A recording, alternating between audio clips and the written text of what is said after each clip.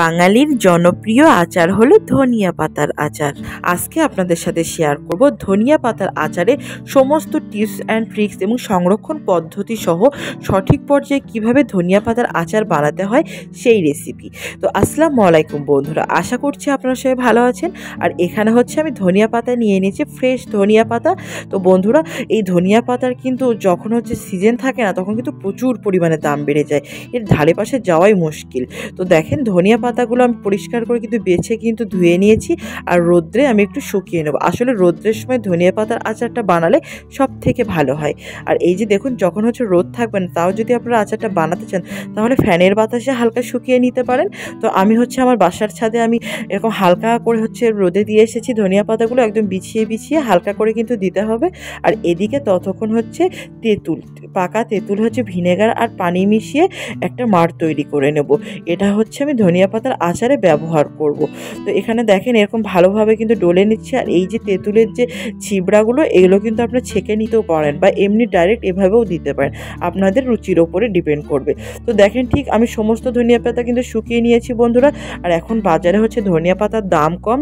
এক কথায় হচ্ছে পাঁচ টাকা আটি বা অনেকগুলো কিন্তু ধনিয়া পাতা পাওয়া যায়। তো এই সিজনে হচ্ছে ধনিয়া পাতার আচার বানিয়ে আপনি সারা বছর কিন্তু সংরক্ষণ করে রেখে দিতে পারেন। তো ঠিক এভাবে কিন্তু শুকিয়ে নিয়েছি। খুব বেশি কিন্তু শুকানো যাবে না। হালকা একটু এরকম পাতাগুলো যখন জড়ো হয়ে আসবে তখন কিন্তু নিয়ে আসতে হবে। রোদ থেকে। আর বেশি যদি শুকান, তাহলে কিন্তু আচারটা একদমই ভালো হবে না।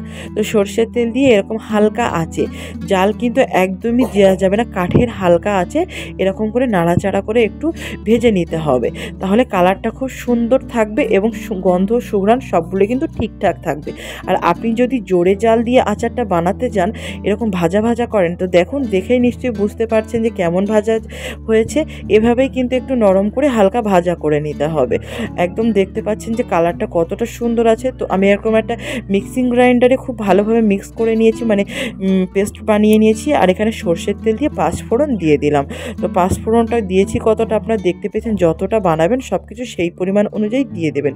আর এই যে তেঁতুলের যে মারটা রেখেছিলাম সেটা কিন্তু দিয়ে দিলাম। দিয়ে এবার একটু নাড়াচাড়া করে মিশিয়ে নিচ্ছে আর জাল কিন্তু বন্ধুরা খুব লো আঁচ যেটা বলে সংক্ষেপে সেরকম হালকা আছে জালটা হবে। আস্তে আস্তে কাঠের আছে জালটা হবে, জোরে কিন্তু জাল হলে আচারটার স্বাদটা কিন্তু নষ্ট হয়ে যাবে।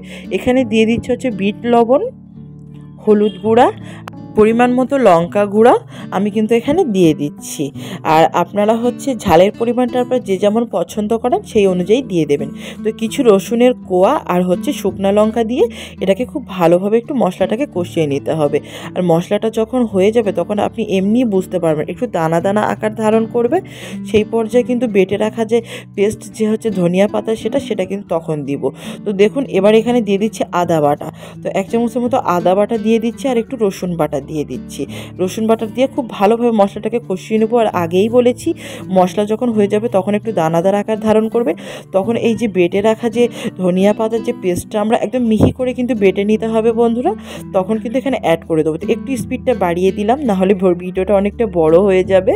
আর এই যে দেখুন বন্ধু ততক্ষণ কিন্তু ভালোভাবে খুব হালকা আছে আমি মশলাটাকে তৈরি করে নিয়েছি আচারের। এবার কিন্তু এই যে বেটে রাখা বা পেস্ট হচ্ছে ধনিয়া পাতাটা দিয়ে দিলাম। তো ধনিয়া পাতা বাটাটা দেওয়ার পরে দেখুন কালারটা দেখতে পাচ্ছেন, একদম সবুজ টকটকে। কালারটা কিন্তু সুন্দর আছে, আপনাদেরকে বলেছি এইভাবেই কিন্তু বানাতে হবে ঘ্রানটাও এবং খুব ভালো থাকবে। আর জাল কিন্তু খুব জোরে একদমই দেওয়া যাবে না। এবার মশলার সাথে খুব ভালোভাবে মিশিয়ে নিচ্ছি। আর এই যে দেখুন, ভালোভাবে মশলার সাথে মিশিয়ে নিতে হবে।